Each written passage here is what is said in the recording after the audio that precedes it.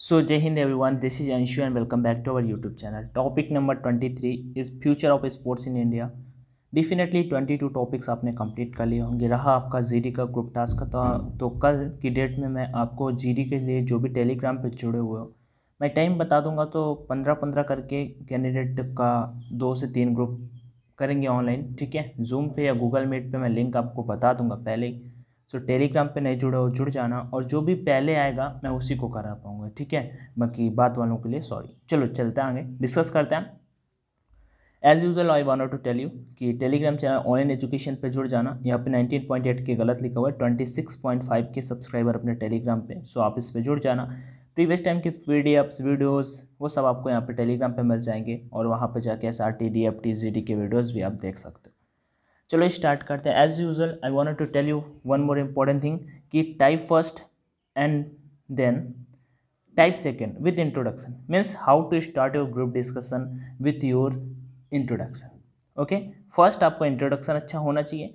With a confidence level बाकी कोई दिक्कत लेने का सीन नहीं है. आपका अगर कॉन्फिडेंस लेवल अच्छा है इंट्रोडक्शन में कुछ गलतियाँ भी होंगी तो भी कोई दिक्कत लेने का सीन नहीं है। अगर आपका कॉन्फिडेंस लेवल अटक रहे हो अपना इंट्रोडक्शन देने में जो नहीं बोलता बिल्कुल शांत रहता है वही आपका जीडी से आउट होता है। अदरवाइज़ भाई साहब आप सभी का सिलेक्शन हो जाएगा सेल्फ स्टडी करके भी निकाल सकते हो। सो so, स्टार्ट करते हैं। अच्छा उससे पहले मैं आपको बता देता हूँ चलो मैं आपको पहले स्टार्ट करता हूँ टाइप फ़र्स्ट की विथ इंट्रोडक्शन स्टार्ट करते हैं। Type second with introduction start करते हैं। How to type second with introduction उससे पहले मैं थोड़ा सा अकेडमिक के बारे में डिस्कस करूँगा। अगर आपको अच्छा ना लगे तो स्किप कर सकते हो। बट डेफिनेटली आप सभी के फ़ायदे के लिए वीडियो लीव करके कोई भी मत जाना। अन अकेडमी इंडिया का लीडिंग एजुकेशनल प्लेटफॉर्म है, जहाँ पे इंडिया के टॉप एजुकेटर्स आपको पढ़ाते हैं। कोई दिक्कत लेने का नहीं कोई अपने से सिक्स मंथ का सब्सक्रिप्शन लेना चाहता है टू मंथ का फ्री मिल जाता है। यही सबसे अच्छा है। और मैं कुछ नहीं रिकमेंड करूँगा। ट्वेंटी फोर मंथ में फोर मंथ का तो सिक्स मंथ एट मंथ आपको मिल जाते हैं। भाई सब फोर मंथ प्रिपरेशन कर लोगे, मन लगा के और कहीं नहीं भटकना। तो बस आपका सब मीन्स सेलेक्शन पक्का। रिटर्न निकल जाएगा, बाकी अगर मेडिकल में दिक्कत होता है, वो तो फिर होता ही है। सभी को अगर होता है, सबका नहीं होता ना मेरी तरह तो ये चीज़ अपने को यहाँ पे मैटर करती है। इसका लिंक डिस्क्रिप्शन बॉक्स में दे दूँगा। साथ में एनडीए का पेपर आ रहा है, उसके लिए भी यहाँ पे अगर ट्वेल्व मंथ का कोई सब्सक्रिप्शन लेगा एनडीए वाला। और ये नहीं, क्योंकि एनडीए का ही करेगा तो केवल एनडीए का मिलेगा। बाई करते समय कोड का ऑप्शन आएगा तो अपना कोड है ओ एन एल आई यानी ऑनलाइन डी फिफ्टी इसका यूज़ करना जिससे आपको टेन परसेंट का डिस्काउंट मिल जाएगा। ठीक है तो डेफिनेटली इसी कोड का यूज़ करना। किसी का भी कुछ भी ले रहे हो तो इस कोड का यूज़ कर सकते हो।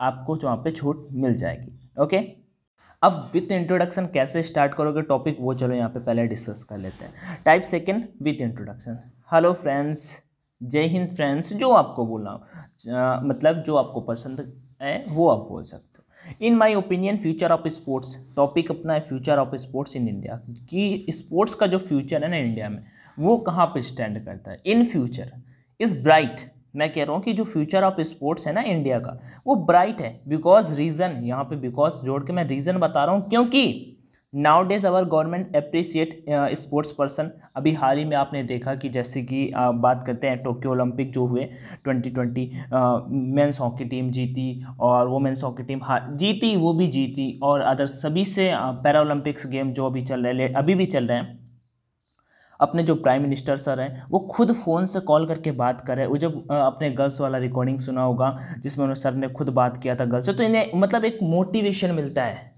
ठीक है ना? कि प्राइम मिनिस्टर से बात कर रहे हैं हम।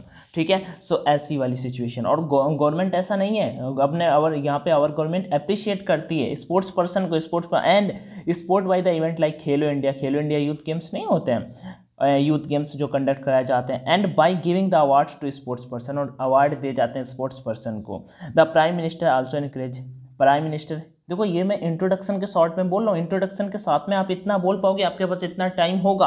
कि आप इतना बोल सकते हो वहाँ पे। क्योंकि मैं नहीं चाहूँगा कि आप अपना जो इंट्रोडक्शन होगा ना, वो बहुत लंबा कर दो। क्योंकि फिर आप इतना नहीं बोल पाओगे। अगर आप अपना इंट्रोडक्शन अपना नेम बताने के बाद भी इतना बोल दोगे ना, बाद में जी में आप कुछ भी नहीं बोलोगे तो भी आपका सिलेक्शन पक्का। पहले ही आप वाले में टिक लगने वाला है कि आपका भाई पास हो आप। सो so, आगे बढ़ते हैं। Also increase the youth to participate in sports by fit India and games ई मतलब कि प्राइम मिनिस्टर सर आल्सो मतलब इंकरेज करते हैं उत्साहित करते हैं कि आप सभी गेम्स में पार्टिसिपेट करिए। और and the government should also increase the sports budget और गवर्नमेंट को भी स्पोर्ट्स के लिए बजट को बढ़ाना चाहिए। To make the future of sports bright in India कि भारत का जो स्पोर्ट होगा ब्राइट हो, कब फ्यूचर में? ठीक है? सो इसके लिए आप शॉर्ट में बोल सकते हो। इसका मैं मतलब एक शॉर्ट में बता देता हूँ कि इंडिया का जो फ्यूचर स्पोर्ट्स वाले फ़ील्ड में काफ़ी ब्राइट है और गवर्नमेंट भी अपना बेस्ट करे प्राइम मिनिस्टर सर इनक्रेज कर रहे हैं लोगों को कि हाँ स्पोर्ट्स वाले, अभी तो आप मान लो जैसे कि, अभी तो आप बोलोगे कि इतने कम आप मान लो एक नॉर्मल आदमी है, उन्हें बोलोगे कि भाई चाइना के 200 मेडल हैं, भारत के 20 मेडल हैं। भाई, उनको नहीं पता ना कि भारत में जब 20 मेडल किस वजह से, जब यहाँ पे मतलब एक स्पोर्ट्स का केवल एक पीरियड होता था नाइन्थ पीरियड में, उसमें भी फिजिक्स वाले सर फिजिक्स पढ़ाने आ जाते थे कि स्पोर्ट्स नहीं होगा सैटरडे होता था कहते खेला, खेलने दो। अरे खेलना नहीं है, पढ़ाई कर लेते हैं। ज़्यादा मार्क्स आने हैं ना इस वजह से तो कुछ ऐसी वाली सिचुएशन रहती थी। बट इस बार जो ओलंपिक हुए ना, ये कुछ अलग ही लेवल का था। इसे कुछ ज़्यादा ही ध्यान से देखा गया तो डेफिनेटली इन फ्यूचर मेरे पॉइंट ऑफ़ व्यू से डेफिनेटली कुछ अलग होगा। आगे बढ़ते हैं। नेक्स्ट बात कर लेते हैं टॉपिक वाइज यहाँ पे, जो आप सभी के लिए एक अच्छा सा कंटेंट आपको दे देगा। जिससे ज़्यादा आपको थिंक नहीं करना पड़ेगा और आपको मीन्स इनफ मिल जाएगा कि हाँ इतना ठीक है। टाइप फ़र्स्ट हाई एवरीबॉडी जय हिंद। इतना बोल सकते हैं हाई जो भी बोलना चाहो। I am here to give my point of view on the given topic मैं यहाँ पे हूँ। अपने पॉइंट ऑफ़ व्यू अपने बारे में बताने में मतलब इस टॉपिक के बारे में बताने में जो यहाँ पे दिया गया है that is future of sports in India जो है future of sports in India future of sports Bharat में। So according to my opinion इसलिए मेरे पॉइंट ऑफ़ व्यू से, मेरे विचार से, मेरे राय से there will be a great future for sports future के फ्यूचर में स्पोर्ट्स में एक अलग ही लाइक जगह होगी. इन इंडिया भारत में the upcoming years as the government upcoming मतलब सालों में, आने वाले सालों में government as well as an government और साथ में एन जी टॉपिक भी मुझे आपको कराना है, क्योंकि ये NGO आया हुआ भी टॉपिक है. वैसे लास्ट टाइम करा चुका हूँ मैं, अगर आप चाहो तो सर्च चैनल के साथ में सर्च कर लेना, आपको मिल जाएगा ये। Are taking big big initiatives for this government और एन कुछ हैं जो like big initiatives like step जिसे बोलते हैं, वो ले रहे हैं। And also somewhat mentality of society changing और लाइक और ये भी बोल सकता हूँ कि जो सोसाइटी की मैंटेलिटी है, वो भी चेंज हो रही है स्पोर्ट्स की तरफ़ which is good for sports new people are looking as a career towards the sport जिससे कि नए नए लोग जो आ रहे हैं मतलब इस लाइन में वो अपना कैरियर देख पा रहे हैं कि हाँ मैं ये गेम मैं बैडमिंटन बैडमिंटन खेल सकता हूँ। अच्छा नीरज चोपड़ा को गोल्ड मेडल मिला, कितना रुपया मिला? अरे भाई, आठ करोड़, दो करोड़ तो वह हरियाणा सरकार ने दिया, दो करोड़ बीसीसीआई ने दिया। अच्छा ऐसा अच्छा टोटल दस करोड़। अरे भाई, सरकारी नौकरी मिलती था चलो हम नौकरी करते हैं मतलब हम स्पोर्ट्स खेलते हैं। तो थोड़ा सा एक लाइक जो ऐसा सोचते हैं कि केवल स्पोर्ट्स मतलब पैसों के लिए तो वो उनके लिए भी लाइक एक इनकरेज वाला होगा ऐसी वाली भी हाल ही की सिचुएशन देख के। आगे बढ़ते हैं next but there is another class that exits लेकिन एक अनादर क्लास है जो एग्जिट करते हैं मतलब है। ठीक है? एग्जिस्ट जिसे बोलते हैं। इन इंडियन सोसाइटी में इंडियन सोसाइटी में दैट की assume and tells that there is no future future in sports की वो बताते हैं भाई फ्यूचर में कोई स्पोर्ट्स नहीं है। Just focus on your academies अपनी एकेडमीज पे फोकस करो, अपनी पढ़ाई लिखाई पे फोकस करो। Even if that student is more interested in sports जबकि वो लड़का इंटरेस्टेड है ज़्यादा स्पोर्ट्स खेलने में स्पोर्ट्स में वो इंटरेस्टेड है, फिर भी उसे, उसके ऊपर फोर्स किया, अरे भाई, तुमसे नहीं होगा, पढ़ाई लिखाई करो एकेडमीज पे जाओ और वहाँ पर अपना रनिंग मतलब अपना पढ़ाई लिखाई करो, बस मुझे नहीं मतलब मुझे मुझे नाइन्टी परसेंट मार्क्स चाहिए, बस। But due to this kind of mentality इस प्रकार की मेंटेलिटी के कारण the talent of most sports person lags behind बहुत सारे लाइक जो टैलेंटेड लोग होते हैं, ठीक है, वो पीछे छूट जाते हैं और वो फिर आगे नहीं जा पाते हैं। जबकि वो कुछ अच्छा कर सकते थे। बट रीज़न यू नो यहाँ पे मैंने कुछ बताया कि कुछ लोगों की वजह से।